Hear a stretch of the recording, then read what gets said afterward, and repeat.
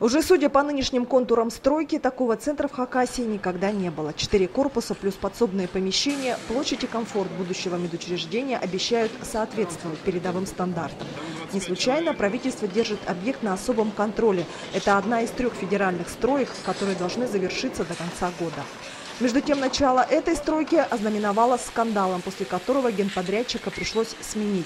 Пришедшей взамен красноярской компании «Монолитстрой» пришлось срочно наверстывать упущенное. Сейчас здесь трудится 250 человек. С каждой недели их будет больше. К концу недели мы привозим бетонщиков, бетонщиков в ночную смену еще 25 человек, то бишь выходим на 200 80 человек. В марте будет у нас параллельно производить э, работы по перегородкам внутри уже будем заходить, зайдут инженерники по, по водопроводу канализации, то бишь там уже будет по 300 и к, э, к лету ну, у нас будет, наверное, человек по 600, если, если не больше.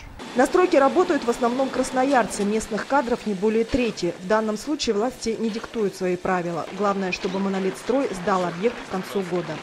Чем ближе тепло, тем сильнее будут наращиваться темпы работ, обещает генподрядчик. С марта здание будет расти по полтора этажа в месяц. Параллельно начнется отделка.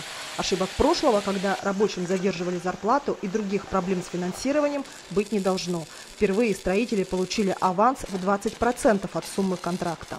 420 миллионов рублей подрядчик получил аванс Соответственно, появилась возможность сразу же развернуть фронт работы, закупать необходимое оборудование. Для родильных палат, реанимации, операционных требуются особые коммуникации по поддержанию нужной температуры, влажности, кондиционированию воздуха, а также по бесперебойному обеспечению центра электричеством.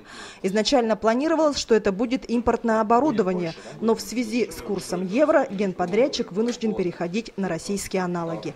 На их покупку запланирован миллиард рублей. Это треть от общей стоимости перинатального центра. Марина Канадакова, Дмитрий Кузнецов, Вести Хакасия.